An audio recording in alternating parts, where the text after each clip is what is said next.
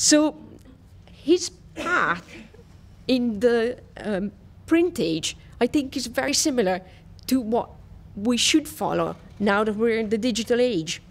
Um, Aldus engaged with the new technology of his day and shaped it to suit his intellectual needs and to create um, new in intellectual possibilities. So we need to develop tools and methods that can help us make sense of these new sources of information, be they born digital data created in the last few years or digitized versions of um, previous um, cultural works.